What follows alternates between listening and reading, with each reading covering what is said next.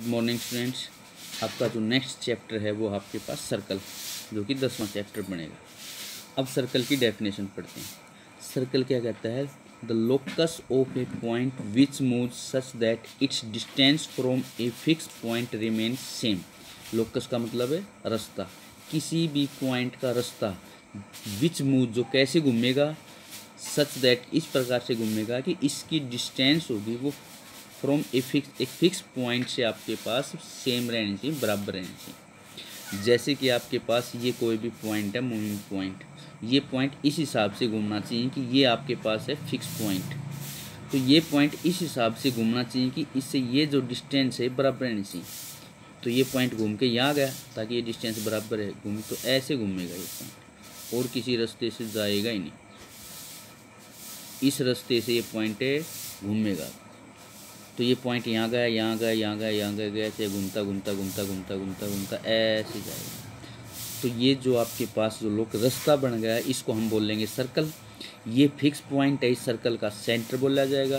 और ये moving point से इस पॉइंट की जो फिक्स डिस्टेंस थी, इसको हम सर्कल की रेडियस बोल लेंगे।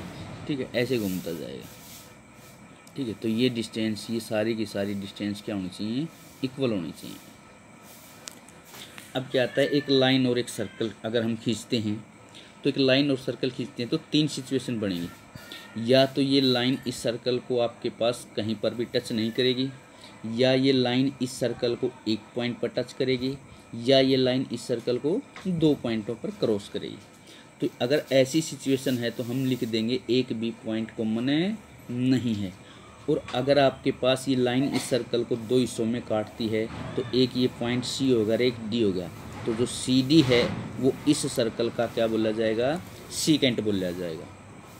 उसके बाद अगर ये लाइन इस सर्कल को एक पॉइंट पर टच कर रही है तो इस लाइन को हम इस सर्कल का टेंजेंट बोल लेंगे। अब ये लाइन इस सर्कल को टच कर रही है आपके पास है कौन से पॉइंट पर टच कर रही है? सी पॉइंट के ऊपर टच कर रही है। तो ये जो सी पॉइंट है, ये पॉइंट ऑफ़ ए कॉन्टैक्ट बोला जाएगा। ठीक है? तो हमने यहाँ पर देखा, ये जो पॉइंट सी है, ये सर्कल के ऊपर है। तो एक पॉइंट से हमने एक टेंजेंट खींच दिया। अब ये पॉइंट दूसरा है तो यहाँ से दूसरा टेंजेंट खींच देंगे। ये पॉइंट लिया और टेंजेंट एक एक पॉइंट से हम एक टेंजेंट खींच सकते हैं। तो इस सर्कल के ऊपर कितने पॉइंट्स हैं? तो इस सर्कल के ऊपर तो इनफाइनाइट मैनी पॉइंट्स हैं। एक पॉइंट पर एक टेंजेंट इनफाइनाइट पॉइंट इसका मतलब इनफाइनाइट टेंजेंट्स हम खींच सकते हैं। तो ये अब आपके पास जो फ़र्स्ट एक्सरसाइज है, उसका बेसिक्स है। अब मैं क्वेश्चन करवाता हूँ आपके तो क्वेश्चन में क्या कहता है, आपके पास जो फ़र्स्ट एक्सरसाइज है टेन पॉइंट है वन एक्सरसाइज का। तो उसके अंदर क्या कहता है हाउ फ़र्स्ट क्वेश्चन क्या कहता है how many tangents can a circle have? किसी भी सर्कल के ऊपर कितने टेंजेंट खींच सकते हैं? अब हमने आपको बताया कि एक पॉइंट से एक टेंजेंट खींचा जा सकता है तो इस सर्कल के ऊपर कितने पॉइंट्स हैं? इनफाइनाइट पॉइंट हैं तो इनफाइनाइट टेंजेंट खींच सकते हैं। उसके बाद कहता है, a tangent to a circle intersect in it. जो टेंजेंट आपके पास, ये कोई भी टेंजेंट सर्कल को कितने पॉइंटों पर काटेगा? एक पॉइंट पर काटेगा।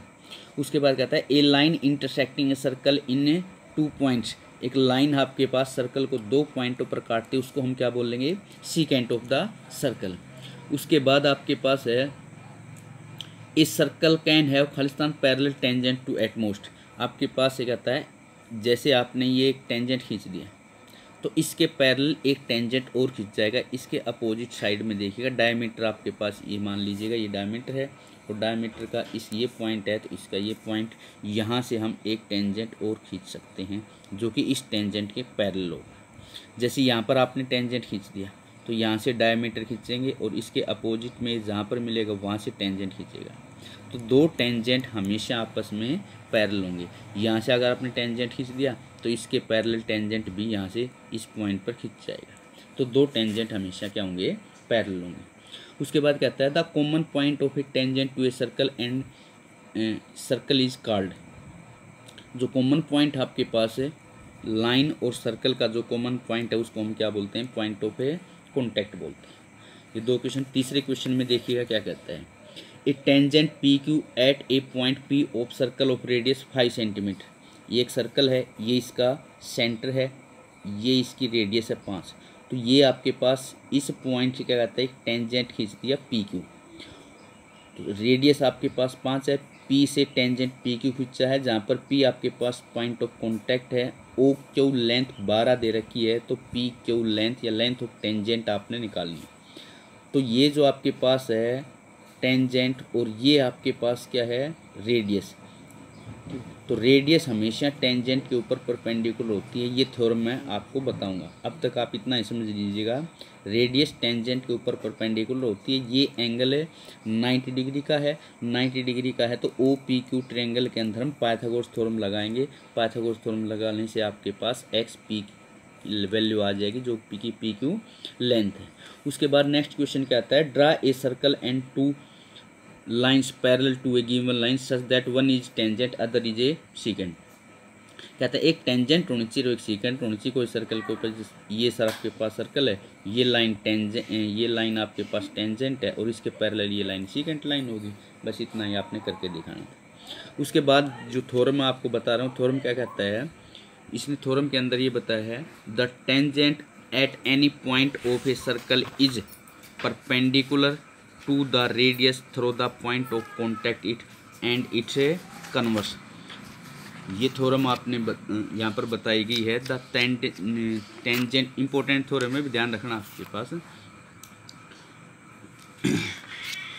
तो ये क्या कहता है? The tangent at any point of a circle कोई भी सर्कल है ये। और ये आपने ले लिया टेंजेंट कोई भी। ये टेंजेंट कौन से पॉइंट पर है? हमने मान लिया पॉइंट है पी पर है और ये आपके पास इसका सेंटर है। तो सेंटर से पॉइंट ऑफ़ कॉन्टैक्ट ये आपके पास क्या होगी? रेडियस हो जाएगी। तो हमने क्या प्रूव करके दिखाना है? Tangent at any point of a circle किसी पॉइंट के ऊपर ये टेंजेंट खींच दिया। इज़ परपेंडिकुलर टू ये जो टेंजेंट है, ये परपेंडिकुलर होगा। किसके? Radius through the point of contact जो रेडियस रेडियस तो ये भी है रेडियस ये भी है, लेकिन इस टेंजेंट का पॉइंट ऑफ़ कॉन्टैक्ट क्या है? पी तो ओ पी इसके ऊपर परपेंडिकुलर होगा, ऐसा हमने प्रूव करके दिखाना है। तो यहाँ से कंस्ट्रक्शन में हम ओ क्यू, ये आपके पास क्यू पॉइंट ले लेंगे? तो देखिएगा इस थोरम का आपके पास प्रूफ तो स्टेटमेंट क्या कहता है? It tangent to a circle is perpendicular to the radius through the point of a contact ये जो अभी आपको थोरम बताइए। तो गीवन के अंदर क्या आता है? एक सर्कल सी है आपके पास ओ उसका सेंटर आर रेडियस है ए बी आपके पास टेंजेंट है एट पी आपके पास सर्कल पॉइंट ऑफ़ कॉन्टैक्ट है। आपने प्रूव करके दिखाना है O P perpendicular to A B O P perpendicular to A B आपने प्रूव करके दिखाना है। तो कंस्ट्रक्शन के अंदर क्या आता है? इस ए बी लाइन के ऊपर कोई भी पॉइंट है क्यू ले लिया। तो ओ क्यू को मिलाया और ओ क्यू इस सर्कल को आर पॉइंट पर काट काटती तो ये आपके पास कंस्ट्रक्शन है। अब इसके पास देखिएगा। अब यहाँ से आपके पास ओ पी और ओ आर क्या होगा भाई? बराबर होगा। क्यों होगा? क्योंकि ओ पी और ओ आर दोनों की दोनों रेडियस हैं। रेडियस कैसे बताया था? सेंटर से। किसी भी पॉइंट को अगर हम मिला लेते हैं इस सर्कल के ऊपर तो वो हमेशा रेडियस होगी। तो ये भी रेडियस है, ये भी रेडियस है, ये भी रेडियस है और ये भी रेडियस है। तो ओ पी और ओ आर क्या होगी आपके पास? रेडियस हैं, दोनों की दोनों बराबर हैं। तो ओ आर के अंदर अगर आर क्यू और मिला देंगे तो आपके पास ओ क्यू हो जाएगा। तो यहाँ पर आपके पास देखिएगा ओ पी और ओ आर दोनों के दोनों क्या हैं? इक्वल हैं। और ओ पी और ओ क्यू में से कौन सी बड़ी होगी? ओ क्यू वैल्यू बड़ी होगी, क्योंकि ओ क्यू आपके पास किसके इक्वल होगा? ओ आर प्लस में आर है क्यू के बराबर तो ये इसके इक्वल है। ओ क्यू इसके इक्वल होगा तो O Q greater than O R हो जाएगा। ठीक अब O Q greater than O R है तो ओ क्यू जो होगा, वो ओ पी से बड़ा हो जाएगा। या यूँ को ओ पी जो है, वो ओ क्यू से छोटा हो जाएगा। अब यहाँ पर आपके पास ये है, किसी पॉइंट से किसी लाइन के ऊपर। ये आपके पास कोई भी लाइन है, इस पॉइंट से इस लाइन के ऊपर ये डिस्टेंस निकालेंगे, ये डिस्टेंस ये डिस्टेंस ये डिस्टेंस ये सारी डिस्टेंस ठीक है, ये लाइन तो यो तो आपकी, और ये डिस्टेंस तो ये जो डिस्टेंस है ओ पी है और ये डिस्टेंस होता है, ये डिस्टेंस इनमें सबसे छोटी जो डिस्टेंस होती है, वो हमेशा परपेंडिकुलर डिस्टेंस होती है। तो ये कोई भी पॉइंट ले लिया ओ क्यू और ओ पी में से ओ पी हमेशा, और कोई अगर आप लेके चलते हैं, ये लेंथ ले लें, ये लेंथ ले लें तो ओ पी जो लेंथ होगी, वो सबसे छोटी लेंथ होगी। तो और सबसे छोटी लेंथ होती है, वो हमेशा परपेंडिकुलर होती है, इसलिए O P perpendicular to A B आ जाएगा। थोटिकली आपने इसको ऐसे लिख देना। O P is the shortest distance आपके पास वही रिज़ल्ट है। ओ पी शॉर्टेज डिस्टेंस है, और शॉर्टेज डिस्टेंस जो होती है, वो हमेशा परपेंडिकुलर डिस्टेंस होती है, इसलिए O P perpendicular to A B हो गया। इसके बाद इसका कन्वर्स है कन्वर्स में यहाँ पर आपने क्या बताया था भाई? ये आपने प्रूव करके दिखाना था। ठीक है? जहाँ पर आपके पास क्या बताया था? पी ए बी एक टेंजेंट तो ओ पी अगर ए बी टेंजेंट है तो ये परपेंडिकुलर दिखाया था। अब परपेंडिकुलर अगर दे रखी है कोई भी लाइन तो आपने दिखानी है, वो आपके पास टेंजेंट हुआ a line draw the ends of the radius and perpendicular to it is a tangent to a circle तो इसने क्या बताया? एक लाइन खींची गई है through the end of a radius आपके पास ये सेंटर है, ये रेडियस रेडियस का जो एंड पॉइंट है आपके पास, इससे एक लाइन खींची गई है, ठीक है? और आपने ये प्रूव करके दिखाना है, और ये दे रखा है कि ये लाइन इसके ऊपर, ये परपेंडिकुलर दे रखा है तो आपने दिखाना है कि जो ए बी लाइन है, वो आपके पास टेंजेंट होगा एट द पॉइंट है पी के ऊपर टेंजेंट तो गिवन ये होगा आपके पास प्रूव आपने प्रूव क्या करके दिखाना है? ए बी एक टेंजेंट होगा एट एनी पॉइंट पी फिर वही कंस्ट्रक्शन हम लेके चलते हैं क्यू कोई भी पॉइंट ले लिया ए बी लाइन के ऊपर ओ क्यू को मिलाया, जो कि इस सर्कल को आर पॉइंट पर काटती है। ठीक, अब ओ बी ए बी के परपेंडिकुलर भी दे रखे इसने। O P perpendicular to A B दे रखे है। इसका मतलब ओ पी फिर वही है। ओ पी ए बी के परपेंडिकुलर है तो ओ पी शॉर्टेज डिस्टेंस हो गई। ओ पी शॉर्टेज डिस्टेंस होगी तो ओ पी ओ क्यू से छोटा होगा। तो ओ पी ओ क्यू से छोटा होगा, इसका मतलब क्यू आपके पास सर्कल से बाहर होगा। Thus every point on the A B other than P lies outside the circle कहता है, इस ए बी लाइन के ऊपर कोई भी पॉइंट लेंगे, वो सर्कल से बाहर होगा पी को छोड़कर। तो पी पॉइंट ही सर्कल के ऊपर होगा और जो पॉइंट सर्कल के ऊपर है, वो हम उस पॉइंट से और कोई लाइन खींची गई है तो वो आपके पास क्या बोली जाती है? हमेशा टेंजेंट बोली जाती है। इसलिए ए बी आपके पास टेंजेंट की लाइन होगी और वो टेंजेंट होगा एट पॉइंट पी के ऊपर। तो ये आपके पास eight point one exercise complete हो गई है और ये दोनों थोरम इम्पोर्टेंट है भाई।